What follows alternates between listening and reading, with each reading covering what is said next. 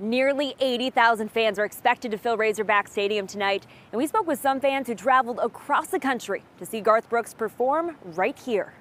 Garth Brooks! Annie and Angela Cunningham traveled from upstate New York. He's a family artist for us. Whenever we all get together, they just recently moved back to New York.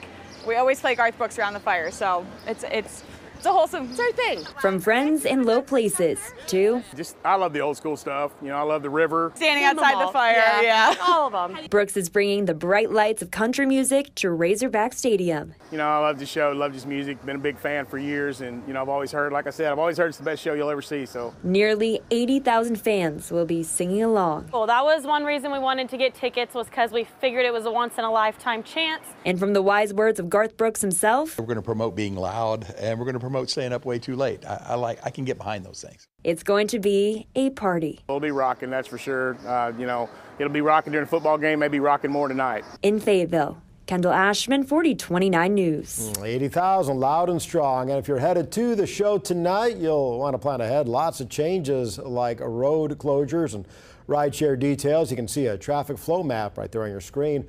Parking passes for university controlled lots are sold out, but you can always take an Uber or Lyft. Now here's a look at the drop off and the pickup map here.